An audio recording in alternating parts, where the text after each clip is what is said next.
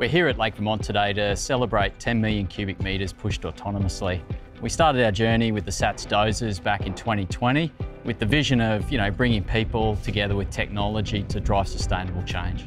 At Thiess, we're proud to be a leading services provider in autonomy, bringing autonomy to our clients. So 10 million cubic metres is quite a large volume. You know, that really equates to 4,000 Olympic swimming pools is what we've pushed over the last three years with our semi-autonomous dozers. That's quite a substantial volume. Thiess, being a mining services provider in the region, often work very closely with Caterpillar to help differentiate themselves uh, across this space in the, in the mining sector, and they want to be seen as leaders in the technology space.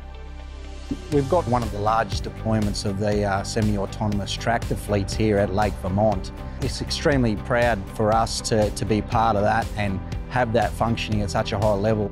What we see with the SATS dozers is typically our utilisation goes up, somewhere in the order of 20 to 25%. So we're getting more work hours per day. And that's because we've got seamless shift changes, uh, very few crib breaks.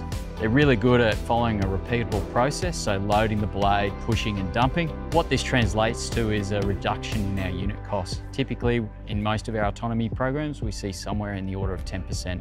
I think it's been a great day to celebrate the 10 million bank cubic meters moved by the autonomous dozers.